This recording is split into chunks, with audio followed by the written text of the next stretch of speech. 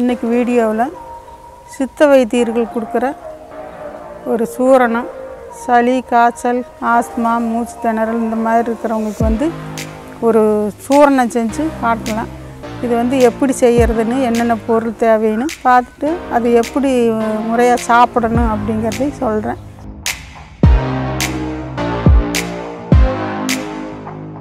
இன்றைக்கி சூரணம் செய்கிறதுக்கு தாளிச்ச பத்திரி ஐம்பது கிராம். அரிசி திப்பிலி ஐம்பது கிராம். கருஞ்சீரகம் ஐம்பது கிராம். பிஞ்சு கடுக்காய் ஐம்பது கிராம். தேசாவரம் ஐம்பது கிராம். ஜீரகம் நூறு. ஏலக்காய் ஐம்பது கிராம். சித்தரத்தை ஐம்பது கிராம். வால்மிளகு ஐம்பது கிராம். கோஷ்டம் ஐம்பது கிராம். ஓமம் நூறு. சுக்கு நூறு. வல்லாரை தூதுவளை கிடச்ச வரைக்கும் போடலாம். குறைஞ்சது ஒரு கால் கால் கிலோ இருந்தாலும் சரி அரை அரை கிலோ இருந்தாலும் சரி போடலாம். எவ்வளவு கிடைக்குதோ அவ்வளோ போட்டு அரைங்க. வெயிலில் காய வச்சு அரைக்கணும்னு நினச்சிங்கன்னா வெயிலில் காய வச்சு அன்னைக்கே அரைச்சிருங்க. சும்மா சும்மா காய வச்சு எடுத்து வைக்கக்கூடாது.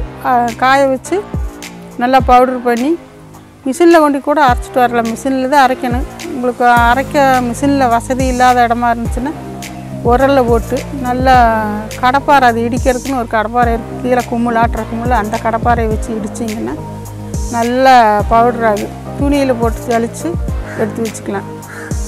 மறுபடியும் இதை நல்லா தூள் ஆன முன்னாடி மிக்சியிலையும் கூட கடைசியாக போட்டுக்கலாம். இடித்து துணியில் சளிச்சுக்கோங்க இல்லைன்னா மிஷின் இருக்கிற மிஷின் இருக்கிற வசதி இருக்கிறவங்களா இருந்தால் போய் மிஷினில் அரைச்சிட்டு வந்துடலாம். இப்போ இங்கெல்லாம் வந்து ம மருந்து அரைக்கிறதுக்குன்னே மிஷின் இருக்குது அங்கே கொண்டு போய் அரைச்சிட்டு வந்துடலாம். இப்போ போய் மிஷினில் கொடுத்து அரைச்சிட்டு வந்தாச்சு. இப்போ இதெல்லாம் அரைச்சிட்டு நல்ல பைன் பவுடராக இருக்கும் நல்ல பொடியாக இருக்குது நைஸாக அந்த பொடியை வந்து தேன் தேனில் கலந்து சாப்பிட்லாம்.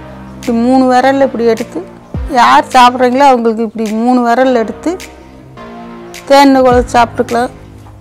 ரொம்ப சிரமமாக இருக்கிறவங்க வந்து இஞ்சி சாறு. இஞ்சி சாறும் தேனும் சேர்த்து கலந்து சாப்பிட்லாம் இந்த தோல் வந்து நஞ்சு அதனால் அதை எடுத்துட்டு தண்ணி இல்லாமல் அம்மியில் வச்சு அரைச்சி புழிஞ்சோம்னா தண்ணி வரும். அதை ஒரு பாத்திரத்தில் ஒரு தட்டில் வச்சுருந்தோம்னா நல்லா தெளிஞ்சிடும் அந்த தெளிஞ்ச தண்ணியை ஊற்றி மருந்து குழச்சி சாப்பிடணும். அது அடியில் சுண்ணாம்பாட்டு இருக்கும். அதை உபயோகிக்கக்கூடாது. தேன் ஒரு ஸ்பூன் ஊற்றல எவ்வளவா கிடைக்கிற அளவு போட்டுக்கலாம். நீங்கள் சுவைக்கேற்ப போட்டுக்கலாம். சின்ன குழந்தைகளாக இருந்தால் கொஞ்சம் இஞ்சி காரமாக இருக்கும். அதனால் கொஞ்சம் தேன் சேர்த்து கொடுத்தீங்கன்னா ஒன்றும் தப்பு. இல்லை பெரியவங்களா இருந்தால் மூணு விரலில் எடுத்து போட்டு போட்டு குழச்சி சாப்பிட்லாம். சின்னவங்களா இரு சின்ன பிள்ளைகளாக இருந்தால் ரெண்டு விரலில் எடுத்து போட்டு சின்ன குழந்தைகளாக இருந்தால் போட்டு கொடுக்கலாம் இந்த அளவுக்கு. இதவே தேன் நெய் இதெல்லாம் கலக்கி இது மூணு சமமாக போட்டு கலக்கி லேகியமாகவும் சாப்பிட்லாம். அதே மாதிரி சுக்கு காப்பி வச்சும் குடிக்கலாம். இல்லை பனை வெல்லம் கிடச்சுன்னா பனை வந்து நல்லா இந்த பவுடரை போட்டு பனைவெல்லத்தையும் போட்டு நல்லா க அரைச்சோம்னா லேகியமாட்டம் வரும். அந்த லேகியத்தை குழந்தைங்களுக்கு கொடுத்தா அது இனிப்பாக இருக்குது நல்லா விரும்பி சாப்பிட்டுக்குங்க. அது அப்படியும் கொடுக்கலாம். இப்போ அவசரத்துக்கு தேன் இல்லை அப்படின்னா சுடுதண்ணி வச்சுட்டு கொஞ்சம் பவுடர் எடுத்து வாயில் போட்டுக்கிட்டு சுடுதண்ணி ஊற்றி முழுகிக்கலாம். நல்லாயிருக்கும் அதையும் குடிக்கலாம். இது எந்த ஒரு பிரச்சனையும் இல்லை. நாட்டு மருந்து கடையில் எல்லாமே கிடைக்கும். நாட்டு மருந்து கடையில் கிடைக்கலனா ஆன்லைனில் கூட வாங்கிக்கலாம்.